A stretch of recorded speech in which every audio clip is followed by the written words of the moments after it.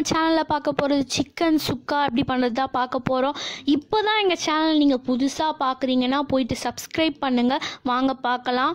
போயிட்டு சப்ஸ்கிரைப் பட்டனை கிளிக் பண்ணிவிட்டு பக்கத்தில் இருக்க பெல் பட்டனை கிளிக் பண்ணி ஆல்னு இருக்க ஆப்ஷன் கொடுங்க. வாங்க வீடியோக்குள்ளே போகலாம் ஒரு குக்கரில் சிக்கனை வந்து மஞ்சத்தூள் போட்டு நல்லா கழுவி இங்கே எடுத்து வச்சுருக்கேன். அதில் ஆஃப் டீஸ்பூன் மஞ்சத்தூள் நம்ம இதில் ஆட் பண்ணிக்கலாம்.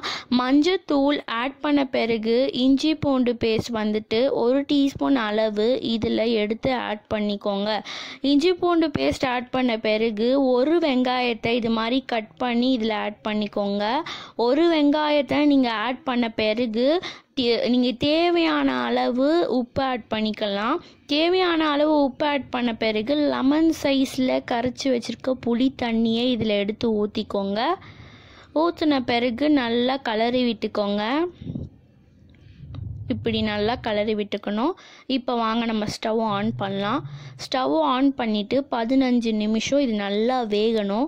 ஸோ இது வெந்துட்டு இருக்கட்டும்.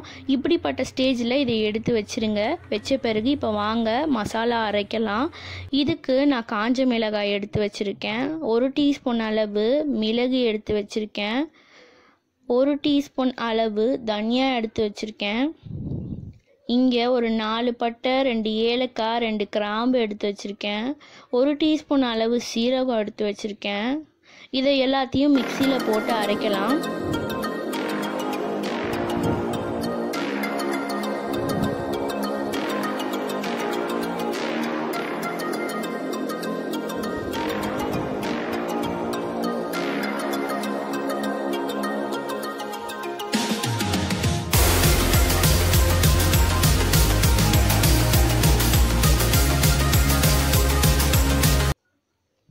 இப்போது இது மாதிரி நல்லா அரைச்சிக்கலாம்.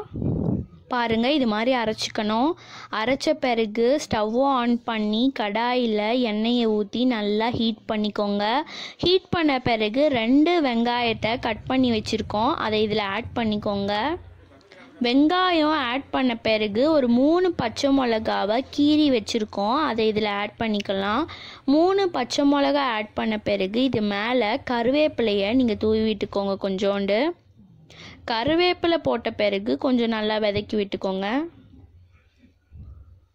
நல்லா மிக்ஸ் பண்ண பிறகு தேவையான அளவு உப்பு எடுத்து போட்டுக்கோங்க.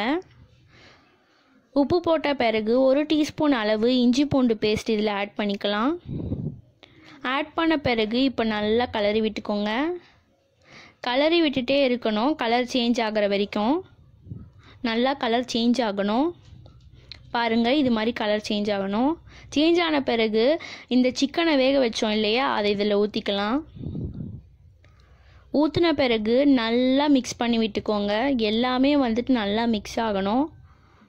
ஸோ நல்லா கலரி விட்டுக்கலாம். இது நல்லா கொதிக்கணும். இது மாதிரி நல்லா கொதிக்கும் பொழுது நம்ம அரைச்சி வச்சுருந்த மசாலாவை எடுத்து இதில் ஆட் பண்ணிக்கலாம் கைஸ் மசாலா ஆட் பண்ண பிறகு நல்லா கலரி விட்டுக்கோங்க. மசாலாவும் அந்த கிரேவியும் நல்லா மிக்ஸ் ஆகணும். இப்போ நல்லா வந்துட்டு கலரி விட்டுக்கலாம். கலரி விட்ட பிறகு ஒரு மூடி எடுத்து க்ளோஸ் பண்ணி வச்சுருங்க. ஒரு இருபது நிமிஷம் அப்படியே விட்டால் தான் நல்லா சுக்காவாக வரும்.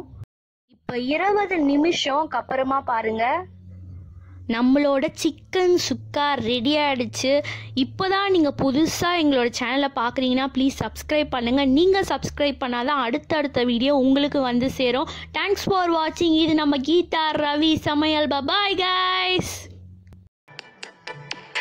இந்த போறப்பு தான் நல்லா ருசிச்சு சாப்பிட கிடைச்சது.